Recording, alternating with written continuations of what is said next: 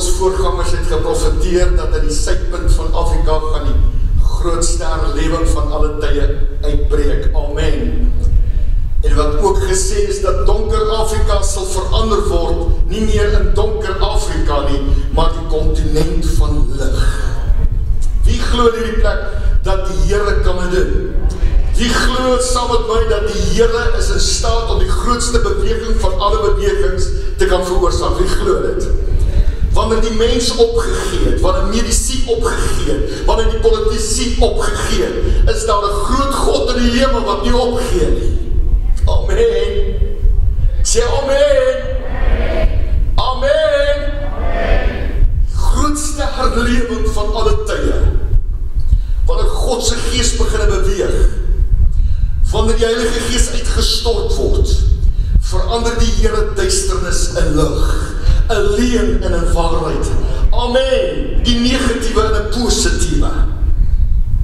En ons is besig met die reeks oor herstel die gebedspier en dis die tweede boodskap in die reeks en, en ek wil julle regtig aanmoedig kerk as daar ooit 'n tyd is wat ons die aangesig van God moet soek is dit nou as dit ooit 'n tyd is wat ons tyd moet uitkoop is dit nou om die Here te soek soos nog nooit vantevore nie want hy is beskikbaar vir elkeen van ons soek my en jy sal my vind sê die woord van die Here amen En is daar die man en daar die vrou wat sê, Heer, ek koop tyd uit, ek maak tyd vir u, ek maak dit my besigheid om nader aan die Here te beweeg. Is daar die man en daar die vrou wat dit gaan maak? Wat gaan staan en bly ongeag die omstandighede in die situasie? Al val daar 'n duisend aan jou sy en 10000 aan jou regterhand, nogtans sal dit jou nie aankom nie. Hoor die woord van die Here. Bomme sal rondom jou ontplof, maar geen skrapnel sal naby jou kom nie. Ek sê pesiekte sal die wêreld oorheers, maar die Here sal kyk na sy kinders en sy kinders sal deur gedra word. Sê dit jou amen. Halleluja. Amen. Here wys vir my van hierdie muur reg rondom Suid-Afrika, net 'n kort die gesig wat ek gesien het. Hierdie muur is volle. Hierdie muur het openinge, hy het gate in, hy's afgebreek tot op die grond toe. En elke een wat hier vermoor sit, het 'n verantwoordelikheid teenoor daardie muur. Individueel, familie, gesinne, gemeente, Elke gemeente in Suid-Afrika het 'n sekere verantwoordelikheid teenoor hierdie gebedsmuur wat moet herbou word. En ek sien elke keer wanneer hulle net besig is om nou besluit te maak ons gaan hierdie muur herbou, dan gebeur daar iets en hulle draai om en dan begin hulle met mekaar te beklei. Die mens begin die mens aan te vat.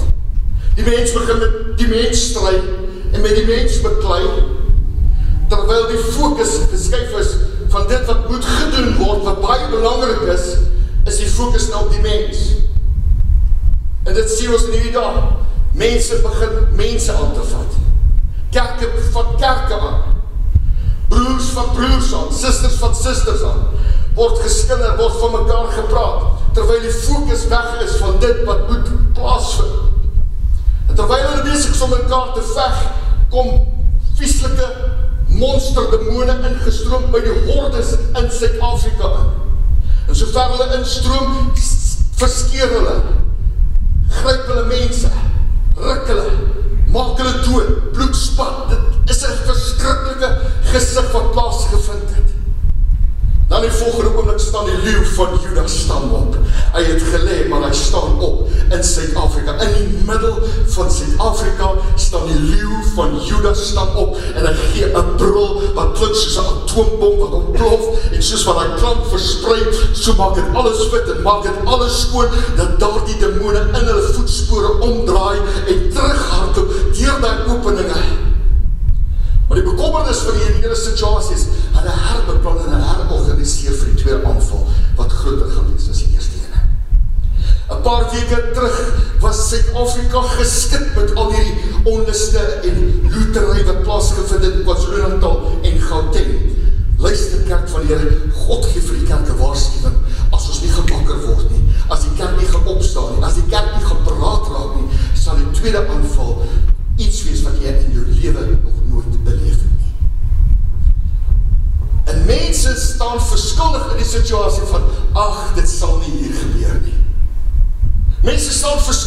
Verskuldig in die situasie van, ek hoor maar net daarvan, ons sal het nie self beleef nie. Ek wil vir sê, pas op, kijk, ons word gewaarskie om wakker te raak.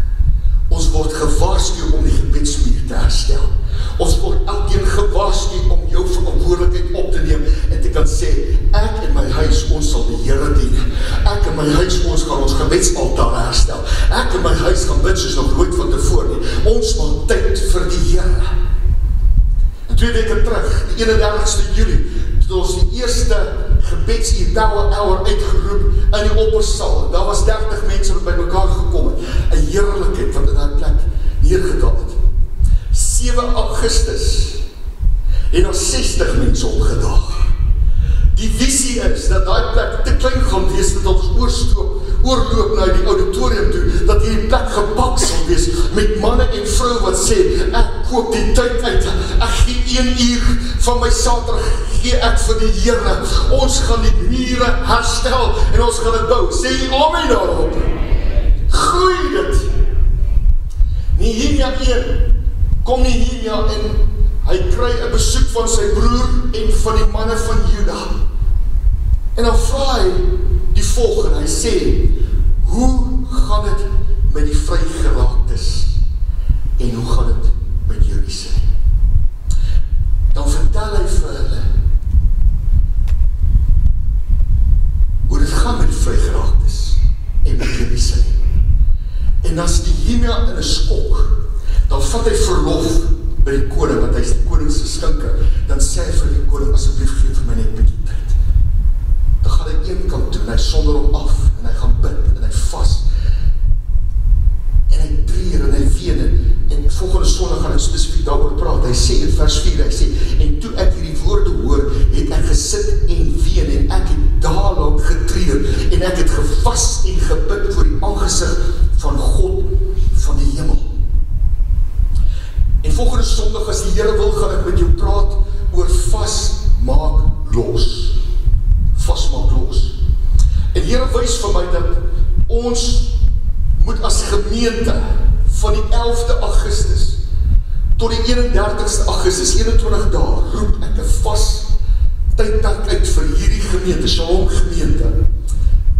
Responsibility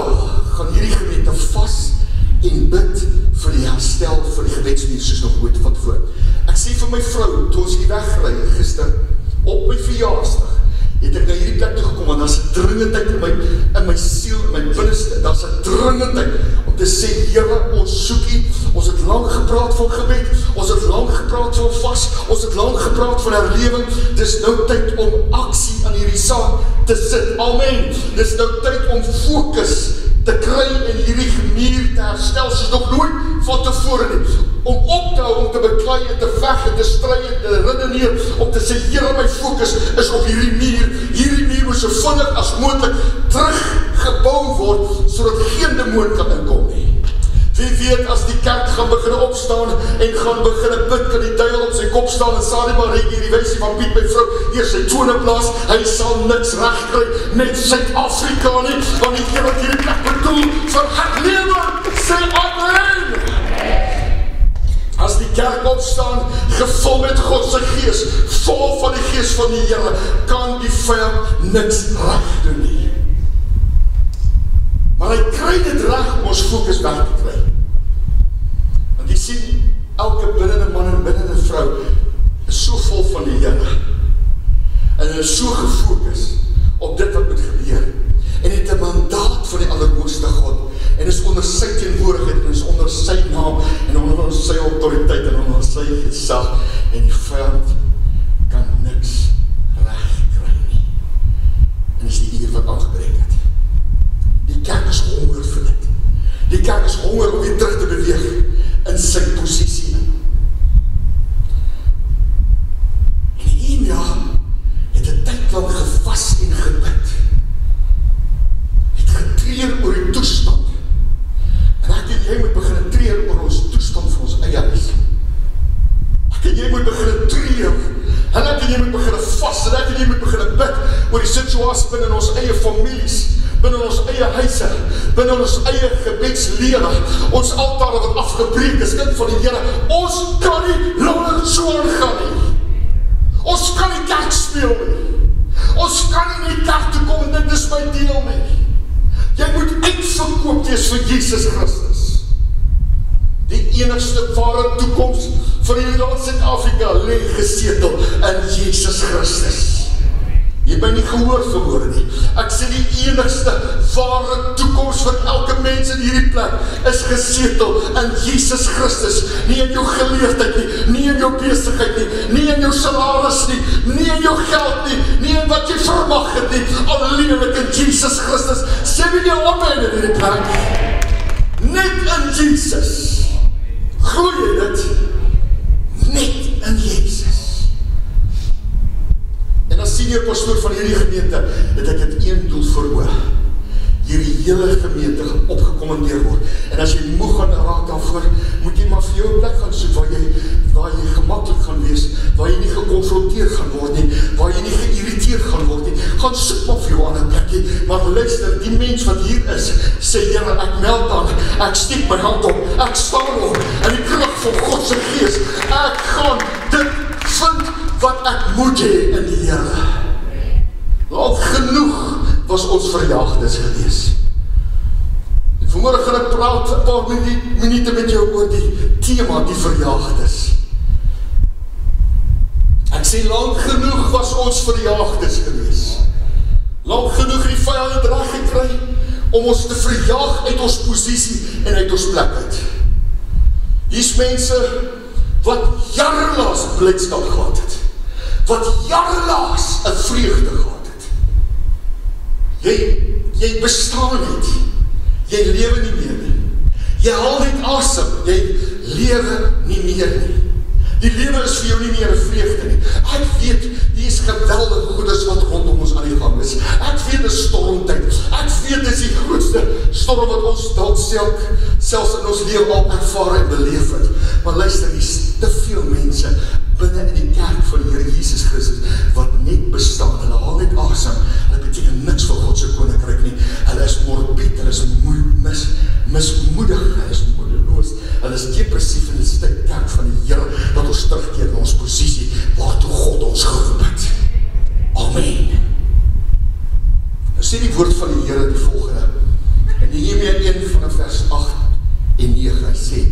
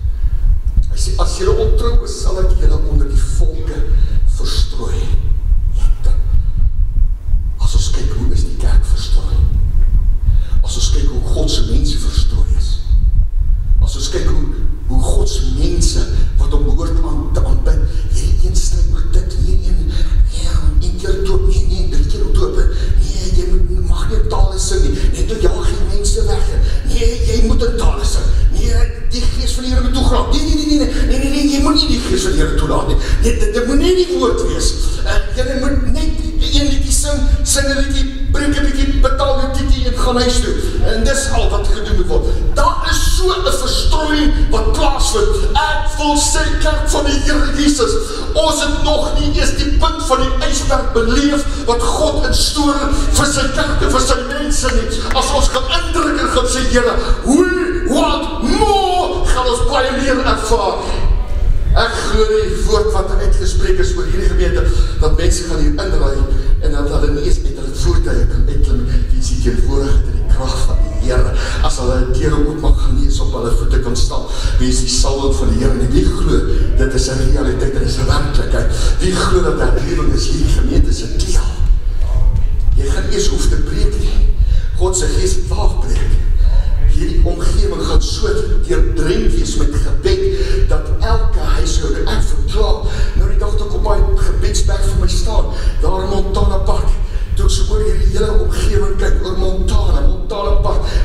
Maghuiskring, Sinnewil, en in Doornpoort, toe ek oor hierdie hele gebied, kyk, toe sê ek, Heere, ek verklaar in die naam van die Heere, elke huis vir Jezus, elke huis vir Jezus, elke huis vir Jezus, elke klipharde hart, raak sag, raak ontvankelijk vir die woord van die Heere, dit gaan nie eens nodig wees, om, hoor vir my, dit gaan nie eens nodig wees, om, te adverteer in programme te heen nie. Godse geest gaan so beweeg in ons omgeving, dat mense gaan instroom, nie net in Shalom in binnencentra nie, maar in Montana, levende woord in, in die AGS in, in, noem het, elke gemeente in hierdie plek, gaan gevlat wees, omdat man en vrou gesê, jylle, ons gryp hier aan, lang genoeg was ons verjaagd is gewees.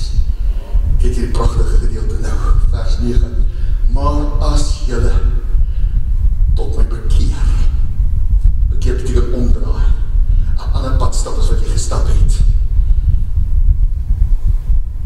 as jy omdraai, as jy jou bekeer, en my geboeie onderhoud, wat is dat geboeie? Het is belangrijk, God, jy moet jylle God lief met jou hele hart, jou hele ziel, jou hele verstand, alles wat in jou is, gelijk staan aan dit is, jy moet jou naaste lief soos jou self. Amen. Dit is Godse gebod. Dit is vir die Heer vir jou en vir my verwag. Onderhou en dit doen. Hoor nou, al was jylle verjaagd is aan die einde van die hemel, dan sal ek hulle daar vandaan sê versamel dan sal ek hulle versamel en hulle bring na die plek wat ek verkies het op my naam daar te laat woon. Ah, wat beteken dit? Een plek van my teenwoordigheid, een plek van my salwe, een plek van my heerlijkheid. Waar my naam is, daar is autoriteit, daar is gezag, daar is heerskapheid.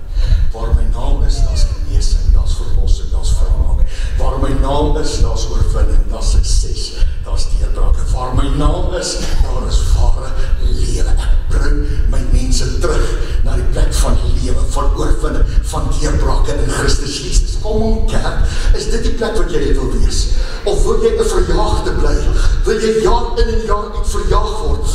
Uit jou plek van geluk, uit jou plek van sukses, uit jou plek van oorwinning, na een plek van woestijnachtigheid, na een plek van tekort, na een plek van droogte, na een plek van uit mekaar uitval, na een plek van moedeloose, na een plek van teneergedruktheid, na een plek waar ek tot een val kom, een plek wat ek nie een sukses maak nie, een plek wat morbid is, een plek wat depressief is, een plek wat ek nie meer wil lewe nie, een plek waar ek absoluut een einde wil maak aan alles. Wil jy daar wees? Jy het een keerse vermoor om te sê, Heer, ek draai om en ek stap na die plek van oorwinning in Christus Jesus. Sien, hy praat hier so van, hy praat hier so van die vrygeraaktes. Hy sê in vers 2, hy sê, en ek het hulle gevra na die Jode, die vrygeraaktes wat oorgebly het uit die gevangenskap en na Jerusalem. So ons het hier vrygeraaktes en dan het ons hier die verjaagdes. Die vrygeraaktes, die verlosters en die verjaagdes. Ek kies om vermoere 'n vrygeraakte te wees. Ek kies vermoere om 'n verloste te wees. Toe ons grensoorlog gehad het, daarbo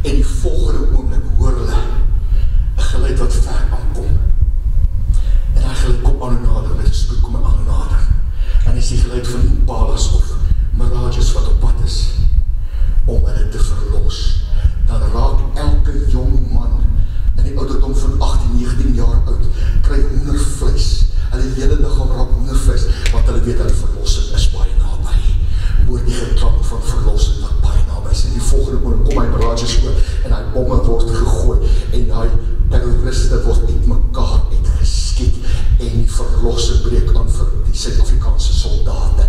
Ek wil vir hierdie kerk vanmôre sê, hoor die geklank van herlewing, hoor die geklank van verlossing, hoor die geklank van uitkomste. Hoor dit is op pad vir elkeen in hierdie plek. Daar's oorwinning vir jou in Christus Jesus. Jy is nie geroep om 'n verjagde te wees nie. Jy's geroep om 'n vrygeraakte te wees. Jy's geroep om 'n verlos Jy's geroep om uit jou situasie uitgered te word. En hoe word ons gered? Deur die bloed van Jesus Christus. As ek oor jou kook wat sê, ek is verlos deur die bloed van die lam verlos. Daarom sing ek so bly. Toe die Heilige Gees op my neerdal van blydskap sing ek so bly. Ek is verlos deur die bloed van die lam vir ons daarom sing ek so bly. Toe die heilige gees wat my leer dan van blydskap sing ek so bly.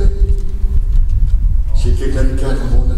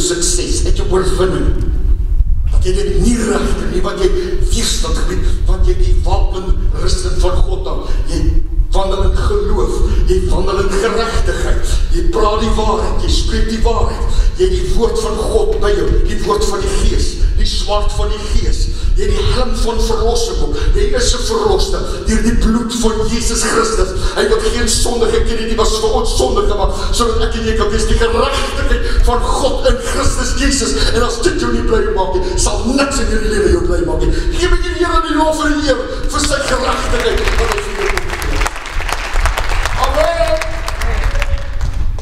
Staan dan vas julle redden met die waarheid om God met die bos van van geregtigheid aan en as skoene aan jou voete die bereidheid vir die evangelie van vrede, behalwe dit alles in die skild van die geloof op waardie julle die vuurige pyle van die bose sal kan uitblus.